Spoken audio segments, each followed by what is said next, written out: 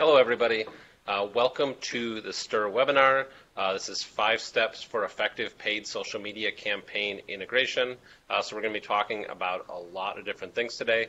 Uh, in terms of questions, if you have them along the way, just write them down, and at the end, we'll be answering um, all questions from everybody involved. For us, I'm uh, the social media director here at STIR. My name is Michael Ray. I've been working in social media for about 10 years across the paid um, space and the organic space, and I work with a variety of different clients uh, here at STIR. I'm Laura Henriksen. I'm the media director here at STIR. I work closely with Michael as well as the rest of the members of our integrated team to oversee strategic development of paid campaigns across digital media as well as traditional media. So where did the idea of this webinar come from? Um, and the simple answer to this question is it came from you. Uh, it came from different clients who would continue uh, to ask us uh, just different questions about social media campaigns and tell us that uh, they were intimidating, um, that it's something they didn't know if they wanted to do. Um, they were asking how do we how do we connect our campaigns across different networks? Uh, should we be doing Facebook? Should we do, be doing LinkedIn? All of it, none of it. Um, and then we had a lot of clients who would say, I've done social media campaigns in the past and they never worked. Uh, what am I doing wrong or is it just not the place for me to be? Um, so this webinar kind of came out of all those questions and we kind of put together some answers. So to walk through our process and theory here at STIR, we're going to do everything under the guise of a fictional client that we've created. Uh, so meet our client, it's Wonderland Resort and Convention Center. This is a convention center and resort destination in the Midwest that targets three pretty distinct audiences. They've got the convention and visitors business, so this could be everything from a corporate meeting to a wedding. Um, they also target the family friendly vacation audience as well as the kind of couples adult getaway audience. And so we'll kind of walk through several examples throughout the rest of this webinar um, under the guise of this client. So step one, uh, so this is really a five-step process, is we walk clients through uh, setting up social media campaigns. And the first one uh, is the most important step, and it's really defining what success looks like. Um, and this is going to vary from client to client, and it's going to vary from campaign to campaign. Let me get back there one second. Uh, so the first thing here is just having really crystal clear campaign objectives. So not, hey, we'd like to make more money, uh, or we'd like to uh, increase sales. That's really, you know, it's really hard to define success if you don't have a number around it. Uh, so for the um, sake of this example with Wonderland, being specific, uh, they want to launch in 90 days. Their budget's around $8,000. Um, they want a 5% increase in online reservations, which breaks down to about 150 uh, reservations um, a month. Um, and they want to have five new conferences with an average value of $40,000. So they kind of have split objectives, reservations, and uh, conferences. So as Michael just mentioned, it's really important to have very clearly defined objectives. And one of the ways that we approach that here at STIR is we work the marketing math. So this is just an example of what the first month of marketing math might look like. I'm actually going to start from the bottom of this chart and work my way back up. We know that based on some of the goals that Michael talked about, we know we need about $33,000 in revenue. Um, given the ADR that that typically generates, we know that that takes about 150 reservations and we know that based on typical start and complete reservation rates for our fictional client industry, we know that we need to have about 450 online reservations started. So from there, we keep working the, the math backwards, and we know that we need to achieve about 5,000 clicks to the website from our social campaign, and that's based off of about half a million impressions. So these are just kind of industry benchmarks that we have here. We feel very strongly that the best benchmarks are your own, so that's a very critical piece of defining success for your own campaigns. Right. And this is something that anybody can do. If you know that, hey, uh, to stay in business, we have to increase our revenue by X amount of dollars. You just kind of plug that in and just back that information up and saying, well, what does that mean? How many sales does that mean? What's our average close rate? And you just kind of start stacking on top of that mm-hmm. until you get to a number where you're like, okay, this is ultimately where I need to be. Um, and then you can start going into the individual platforms and um, inputting information and seeing exactly what it's going to take to get you there. Um, so if your campaign objectives are unclear, then the word success is meaningless. You're going to see we're going to close out each step with a key takeaway slide. And so again, the, the point to take away from this section is that you need to have very clearly defined objectives going in so that that is your guide throughout the campaign to make sure that all of your optimizations, everything you do moving forward is based on determining and achieving those campaign objectives. So on to step two. On to step two, pick your platforms. Um, so now that you know what success looks like, you know what kind of revenue you need, um, it's time to pick your platforms. And this is something, again, we go through with every individual client. We'd encourage you to do uh, for yourself is pick exactly what platforms you're going to use. Um, this first slide here is just about kind of knowing uh, each network and whether you're a B2B business or a B2C business, seeing where others in the industry um, kind of line up. Um, so if I look here really quick, what's one of the things that should surprise nobody is a lot more B2B companies use LinkedIn versus B2C companies. Uh, but this slide also shows um, that a lot of B2B companies also use Facebook a lot. There's a lot of value that can be gotten out of Facebook ads. And so this is generally surprising to clients who are B2B and they're like, well, we don't belong on Facebook.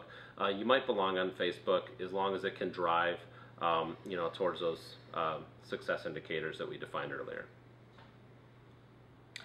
So who doesn't love a good treasure hunt, right? So whether you're One-Eyed Willie or one of these fun little kids in the picture, it's really kind of an interesting and fun challenge to find your client or your target audience, excuse me, on social media. So there's a lot to look through. Uh, we're going to show you um, our map in just a second, but you want to consider things like what platforms does your target audience really use the most? Is that platform capable of the type of measurement that you need? In this instance, we know that we're going after online hotel reservations. So is that platform capable of measuring that. That's something we'd consider. You also want to look at how cost efficient the platforms are. As I mentioned earlier, if you have benchmarks from a past campaign, that's the best place to start. But you can also look at industry benchmarks or reach out to sales partners to help determine what the efficiency might be. Um, you also just want to think through are there any red flags that could prevent you from reaching those campaign objectives. So what we're going to show you next is a helpful little guide that we use for a lot of our efforts, and that's a really great platform evaluation tool to help you find your target, target audience. We're going to be sending out this checklist and one other tool that we'll get to a little bit later after this webinar, so don't feel like you have to try to read everything on the screen right now, but this checklist is a really helpful tool to make sure that you're thinking through all the possible factors to determine if a particular platform is right for your campaign. So for our reservations audience, um, this is basically, this is a step that we take to compare each individual network and kind of winnow down to exactly uh, where we're going to set up a social media campaign.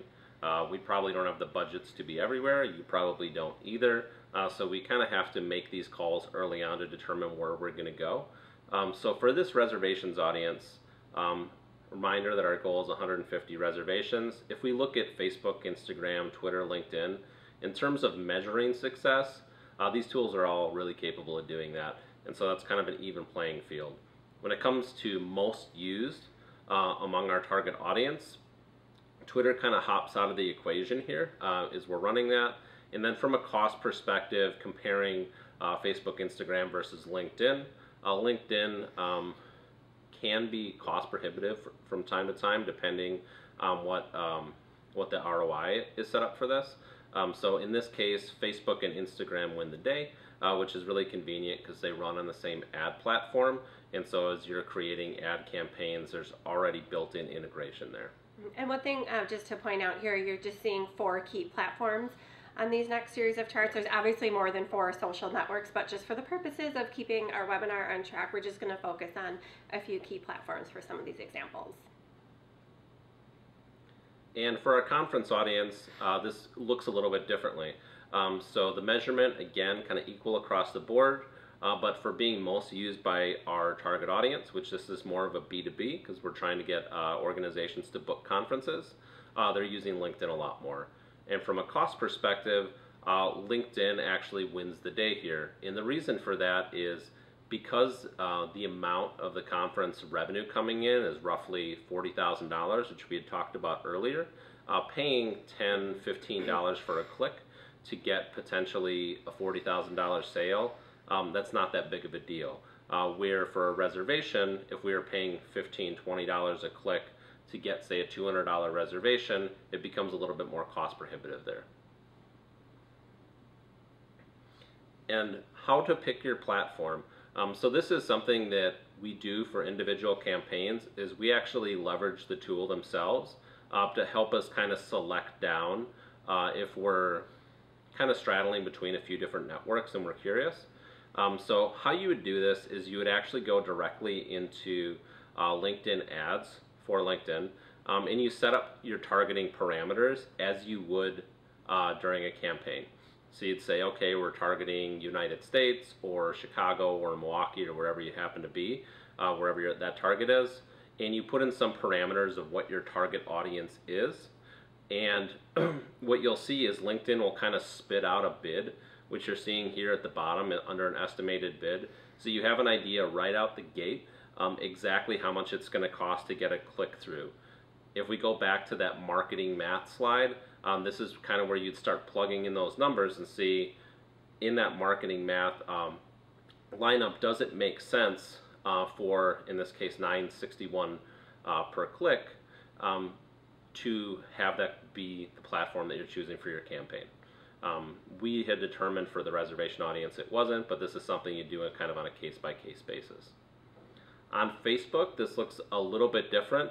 Uh, so you'd be an ads manager, and what you would do is a similar process, it just looks different. So you plug in all the different parameters of your audience, where you're targeting, uh, age range, you know, specific demographic information. So in the case of this example, we are targeting kind of young families uh, who have some disposable income. So we've separated this out by kind of, um, you know, income and, you know, age range and uh, just some basic behavioral targeting as well. And then to follow that through, uh, we are going to be looking at, um, just from a budgeting and scheduling standpoint, you'd be plugging in information here and Facebook will spit out and tell you, you know, what is your estimated reach, what are your estimated conversions for that individual budget. In this case, uh, we had wanted 150 reservations, which works out to about five conversions a day. And if we look here, that's kind of on the low end of where we're at. Um, so what that means is that you'd this would be a budget amount that would work uh, for success for this campaign. If you had to increase this budget to three, four, five hundred dollars uh, to reach that conversion level, then it might not be successful uh, for your campaign. So this is just kind of a way to use uh, the estimating tools with, within each individual platform um, to kind of help you work out some of that marketing math and help you determine what platforms are going to be most effective and you can't afford to be everywhere. Um, so pick your platform wisely. Um, so again, you can't afford to be everywhere. So when you're making these determinations, don't assume right out the gate, hey, we're going to do a Facebook campaign. Uh, do that prep work ahead of time. Uh, determine that it's the right network for you and determine why it's the right network for you. It's going to help you in projections and it's going to help you down the line um, really work towards success. All right, so on to step three, don't forget about organic. In most cases, if we're lucky, there's a lot of elements to any comprehensive campaign. You'll have paid elements, organic elements, um, and within the social space, organic campaigns can really provide a strong opportunity to, as we say here, try before you buy. You have the opportunity through your organic posting and community management efforts to test what messages resonate with people. You can look at the comments and the engagement that you're getting from users and see what the reactions are. And you can take that data um, as well as image data, things like that, and inform that into your paid campaigns across social. There are some additional things that you can do with that. Um, remember that tracking codes are your friend. So a lot of people um, get intimidated by this aspect of it you know, what is a pixel? What is a tracking code? Um, you know, so a tracking code is a really great opportunity um, and those codes are available specific to each platform, but it's a great opportunity to place that code early, even during the organic phase of a campaign. What that allows you to do is the platform will collect a lot of really rich uh, website use data, consumer data based off of people that are interacting with your website after exposure to the campaign. So that will give you insight into what they're doing, how they're tracking throughout the site, and it also sets you up for some success down the road. So for example, by placing this pixel early over time and letting it build data, you're able to then segment that data and create new audiences for your campaign. So for example, let's say a few weeks into the Wonderland campaign, we want to expand our reach a little bit. We're going to uh, create some lookalike audiences and then build targeting off of there. And that's only something we're able to do with that pixel. Um, so some other ways that you can set your paid campaigns up for success is take those organic campaign learnings and implement them into the paid program. So if you see that the consumer response and comments you're getting in your community are really strong for a particular offer or a particular image or things like that, definitely implement that into your paid campaign. Um, you can also use very detailed UTM codes. So, oh, what's a UTM code? Okay, so a UTM code is instead of, in this example, having your ad click through to wonderlandresort.com, you append certain tracking segments to that. So, for example, you could append the campaign name, the creative name, information about the offer that you're including. Um, you can attach a parameter to it so that it shows you which platform it's coming from. There's a lot of different opportunities to append the different tags, and what that allows you to do is not just look at the Facebook data, for example, to see how the ads are performing, but the UTM codes allow you to look really in depth at Google Analytics to see what consumers that are coming to your site as a result of the campaign are doing in a really in-depth way. Um, so that should be critical for any organic or paid campaign that you're doing. Absolutely. And this is something that um, I think a lot of people don't necessarily think about when they're setting up a campaign. Mm-hmm. They're saying, hey, we're just going to take these images, here's our copy, and we're just going to kind of run this through the cycle and see what the heck happens. Uh, but if you have, um, you know, a more sophisticated campaign and there's a lot more writing on it, yep. uh, this is a step that definitely makes sense. So say you're testing two or three different images organically, people are responding to one, that's the one you build your creative off of. Yep. Um, so it's something that it's it's an extra step. Doesn't take um, you know any out of pocket money. It's just all kind of time here, and is really going to help you out. And the same from um, on the UTM code side is just having that, that those kind of additional learnings, attaching it to uh, you know those organic learnings. So as people are clicking on you know individual links that you're just posting to your site, you can track their progress throughout the site, and so you kind of have this roadmap so that when you set up your campaign, you know how people are going to behave ahead of time. Um, and that way you can kind of help them along the way and nudge them in the right direction, knowing how people tend to behave on your, on your site. It's an extra step that can really help you later on uh, in terms of having this additional learning that's going to make your campaign on the paid side just all that more effective.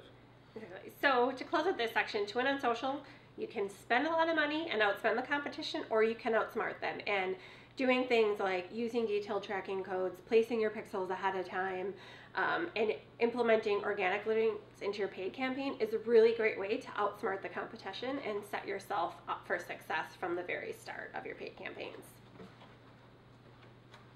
So step number four, uh, gathering your assets. So step number one, we defined our success. Uh, step number two, we kind of picked our platforms. Step number three, uh, we are really testing everything organically so we know these are kind of the images we want to go with. Um, and we have kind of some of that parameters and those roadmaps set up for success. So now we're going to gather our assets on the paid side of things. Again, this might sound like a lot of preparation uh, for doing a paid social media campaign, but all these little steps kind of work together. Um, they build this foundation for success for your campaign and for future campaigns as well. So as you're doing a campaign, um, assuming that you're going to be doing two, three, four, five throughout the course because they're going to be wildly successful because you've done all these awesome things, um, you have that foundation in place and it's going to kind of help you all the way down the road.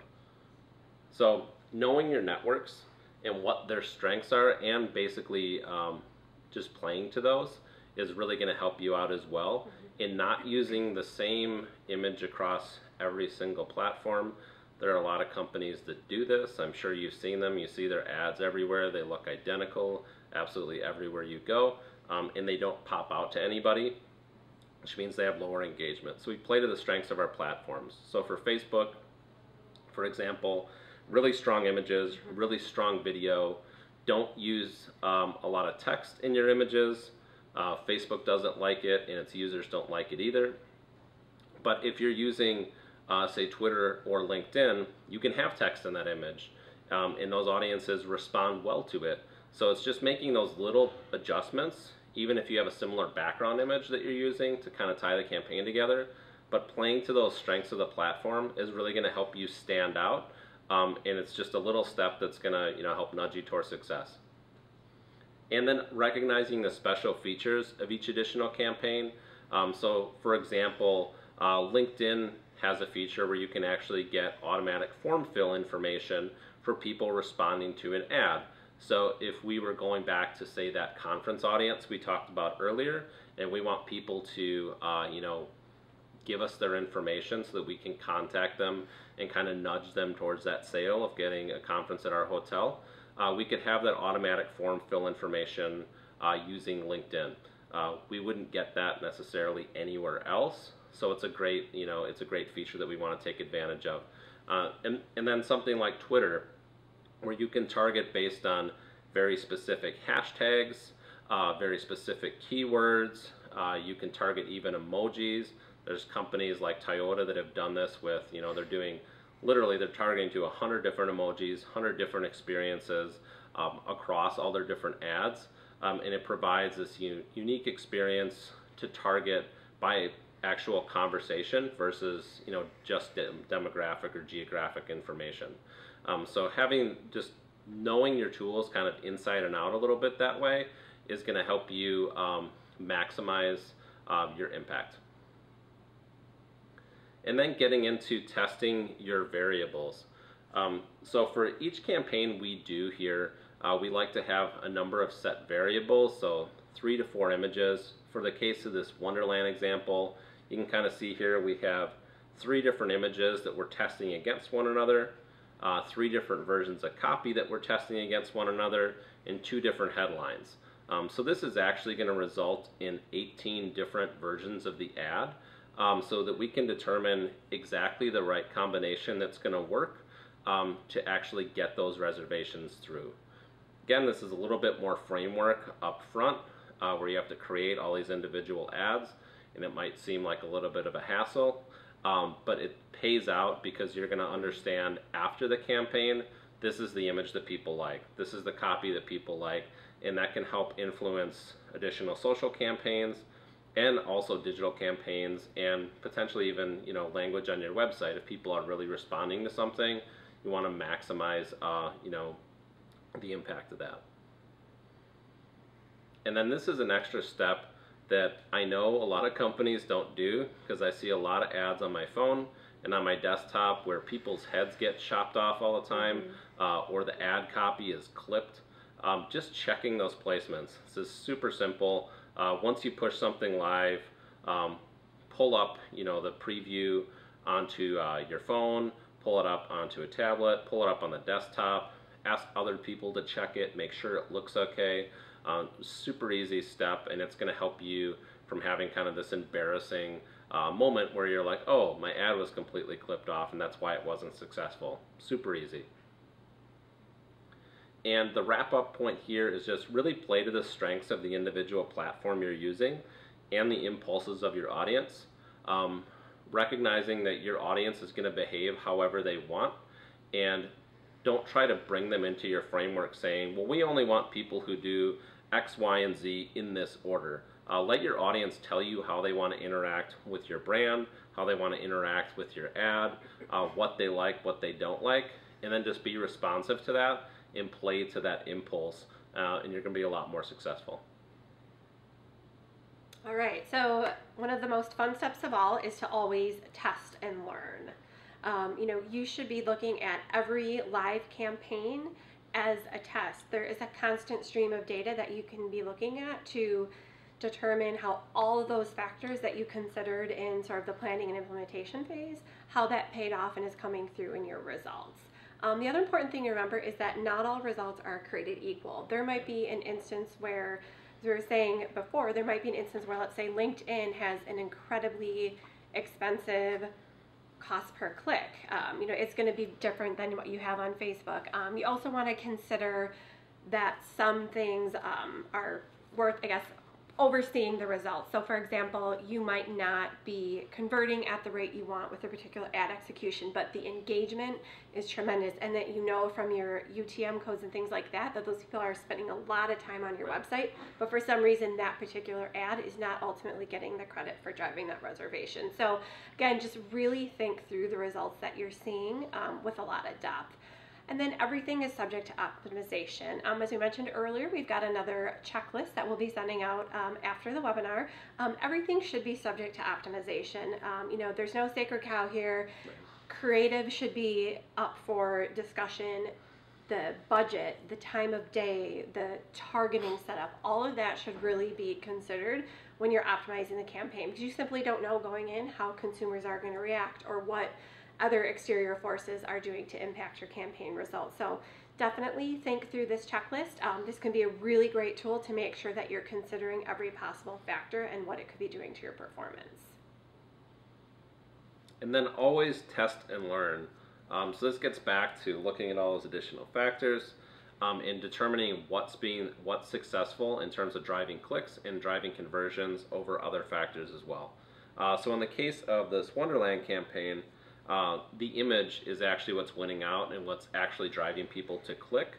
Um, and we can kind of see this broken out that it's actually almost five times more effective using mm-hmm. the image of the children versus the image of crazy happy family on the beach.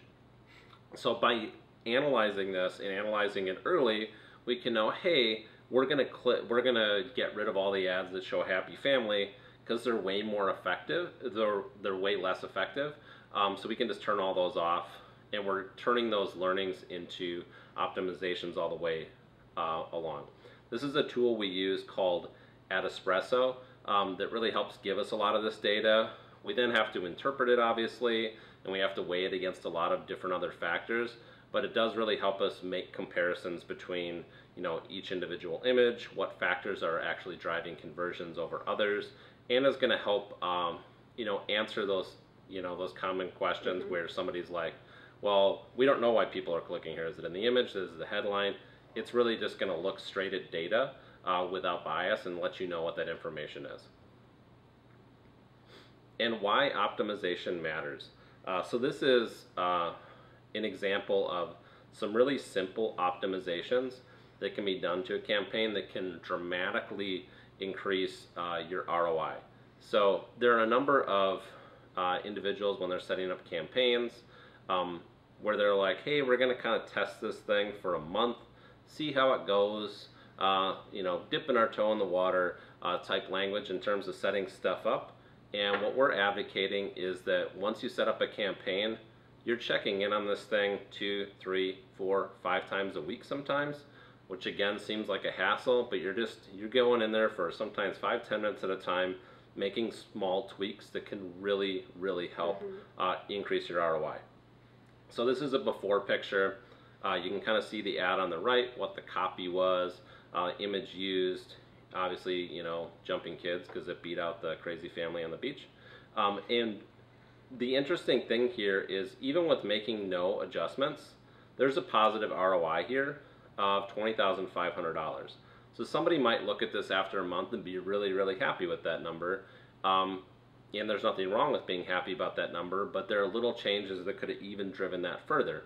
So in the case of this example, and this happens uh, with clients all the time, it's just a small tweak in language. Uh, so we just adjusted the copy um, just a little bit here. We changed the call to action, which again, really, really simple optimization to do. And the after effect here, small changes, big gains. We jumped that ROI by about $12,000 just by changing those two things. Um, and this might seem uh, ridiculous that, yeah, that's not actually going to drive it. It does. Uh, these little tweaks make a mm-hmm. difference. Uh, changing out an image a little bit makes a difference. Um, we do this, you know, literally every single day with clients where it's we're adjusting this over this. Uh, we're leveraging the data that the platforms are giving us and that the different tools we have to analyze are giving us um, and we're making these little bitty changes, and we're seeing these huge returns uh, kind of on the back end and seeing just success grow from month after month after month uh, into these campaigns.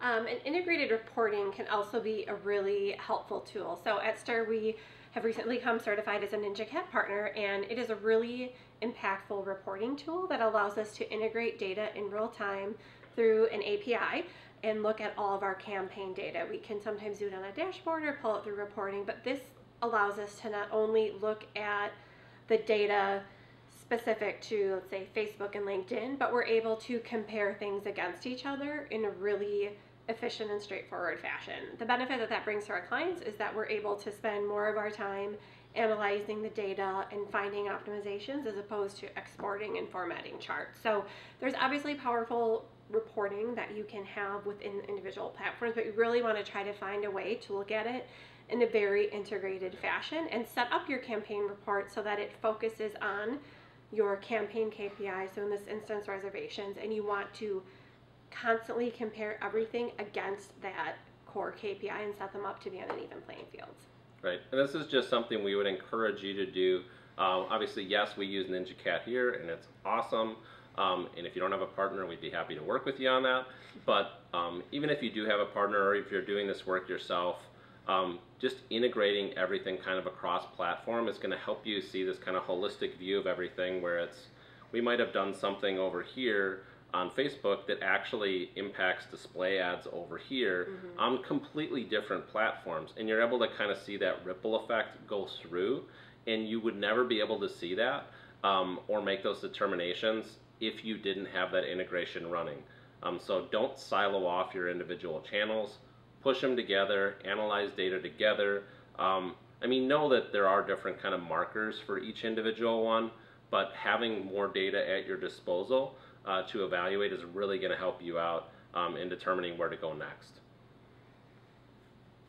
Um, and to close out this section, it wasn't a waste of time if you learned something. As Michael mentioned, and kind of the setup to the webinar, clients will sometimes say, but social just doesn't work for me. You know, it could be because it just wasn't the right time for the campaign, or it could have been the optimization strategy was off, or the campaign KPI and objectives weren't aligned.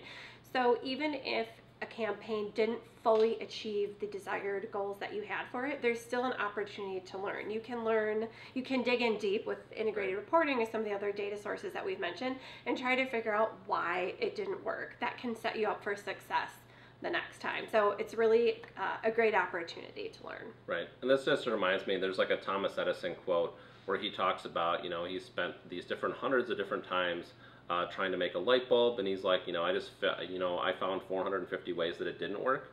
Um, and you can view campaigns kind of that way too, mm-hmm. saying this image isn't going to work, uh, this copy isn't going to work, and it's going to drive you towards finding exactly what will um, and influencing that down the line.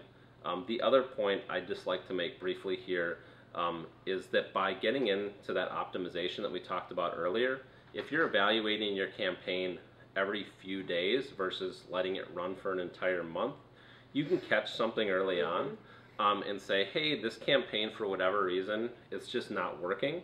Um, pump the brakes, cut off that budget so you're not uh, spending it, retool, and then kind of push things back out again and test and learn and test and learn. And this is an ongoing process. Um, it's just going to continue to happen. Um, but you're going to find out, you know, some things that you know, assumptions that you make about your audience might not be true, and your audience is going to continually teach you things as well, uh, which is a good thing. Um, so it's also important to just continue the conversation from your campaigns. Um, so ways that you can do that, as we said, you know, implement learnings from your paid social efforts across all facets of the campaign. So if you're seeing an image or an offer, for example, really perform well on social, implement that into your pay-per-click campaigns or your display campaigns. Really take the opportunity to drive those results across the board.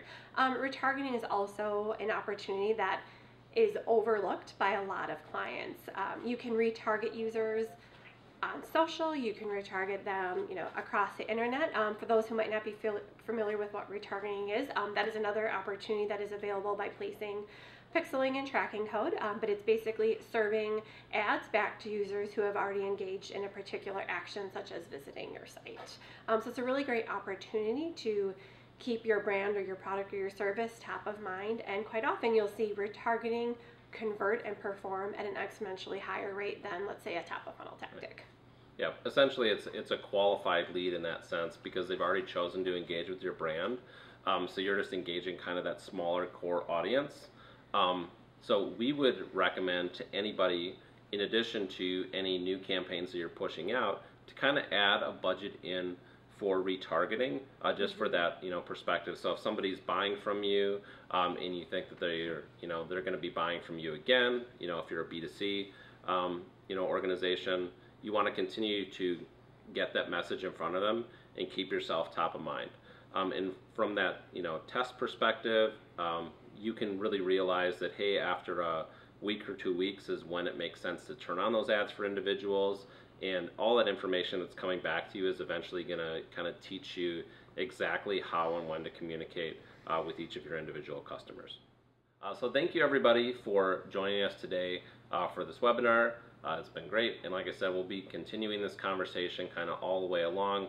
Feel free to reach out to either one of us. I'm happy to jam on this topic any day of the week, uh, so we can talk and have those conversations and uh, dig in a little bit more, especially if there were areas that you know might have gone over your head or you want to dig into a little bit more. Happy to have those conversations.